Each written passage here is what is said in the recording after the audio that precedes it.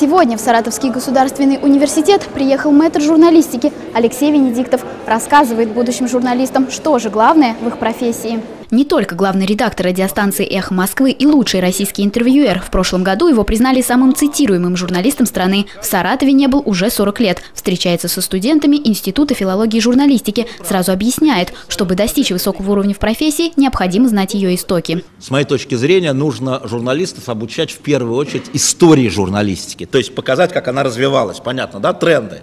Это очень важно понимать, с чего она стартовала и какие у нее были зигзаги в истории. Кто такие были журналисты в 18 веке, кто такие были журналисты в 19 веке, какие этические принципы были в журналистике, извините, в фашистской Германии, да, в Советском Союзе, в Соединенных Штатах Америки. Вот эта история, мне кажется, важ, важной. С будущими журналистами ведет себя как с уже опытными коллегами, обсуждает политические темы и личные взгляды на актуальные проблемы в стране, одновременно оценивает и уровень образованности саратовских студентов. Я сказал, пошутил и смотрю, поняли, не поняли.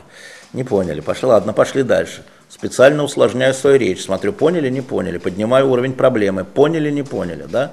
Я вам могу сказать, полная туфта, кто говорит о том, что вот тут вот молодежь, значит, как мне сказали, отупение, там мне сказал молодой человек, да, а в Москве, значит, вот они, ничего подобного. Одинаково. Алексей Венедиктов отмечает, сегодня профессиональный журналист – редкость. Его личный опыт позволяет с легкостью определить настоящего профи. Те же, кто готовится стать четвертой властью, намерены следовать указаниям. Мне в практике понадобятся такие факты, что надо проверять свой материал, надо как пользоваться только проверенными источниками и осознавать, что то, что я говорю, это так или иначе может повлиять на людей.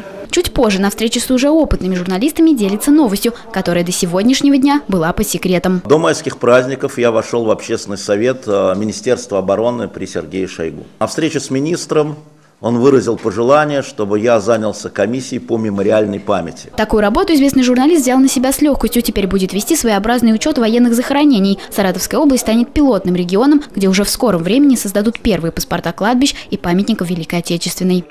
Влада Черняева, Олег Бирюков, ТВ-центр, Саратов.